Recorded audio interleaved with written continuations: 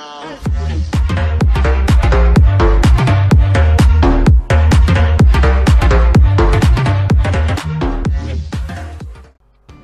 what is up guys, welcome back to another video. Today we're back and we're recording another FIFA 17 player review. Today's player review is based around the new uh, inform, third inform, Kevin Gameiro. Um, yeah, let's get right into it. Okay, so yeah, this is the team we put him around. Uh, two French uh, left wing, left forward and right forward in Martial and Dembele. A midfield of Kante, uh, Matic, Tolisso. Back forward then of Shaw, uh, Smalling, uh, Cahill and Sidibe and then we got uh, Butland net. Okay, so yeah, we paid 90,000 coins for him. Uh, he's around that at the minute. Five games played, four goals, uh, no assists. Um, okay, let's get into the clips. Okay, straight away here, we can see just bursts on through there uh, with the slim pace he's got and just tucks it away there on his uh, weak foot which is a lovely strike. And yeah we have to put shooting down as one of his uh, pros. It's first pro we did list. And uh, yeah it's what you would expect also from the striker. And also on his weak foot which is 3 or 4 star. But yeah to do that is uh, great and that's what you want okay here again he's getting through here lovely bit of dribbling puts it away then with the finesse shot which I found really really well uh, to work the best for this guy uh, apart from that, uh, only uh, the first goal, the first clip there, uh, that was the only goal I, I think I scored without uh, being, if that, without it being a finesse shot.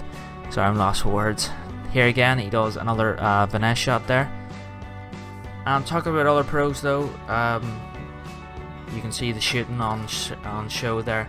But yeah, other pros we did list for him is Stanima, it's great. And what you can expect from a good player like this especially in the modern game? Now you do need that good stamina.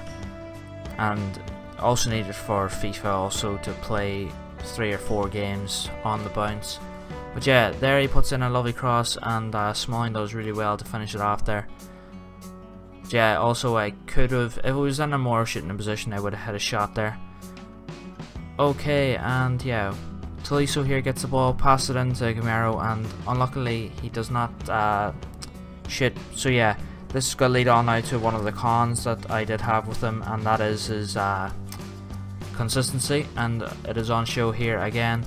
Um, he wasn't really consistent in front of goal, and it actually did uh, lower his rating, as you can see there. So yeah, going over his pros again, dribbling, shooting, and stamina, pretty obvious, and I explained them throughout the video. And his cons are his strength, uh, it's only 76 which is pretty disappointing for the striker. I would expect more but uh, him and Griezmann they're kind of a weaker, a weaker uh, generation but yeah they do make up for it with their great finishing. Well leading on to the other uh, other con, uh, his consistency. He he's not as good as Griezmann, and there is way better uh, people out there. But if you do like uh, the likes of Ben Yedder and stuff, you will like this card. And also he does link up with Ben Yedder. But yeah, really hope you did enjoy this one. Thanks for watching, and of course, make sure you do subscribe for more, and I'll see you in the next one. Bye.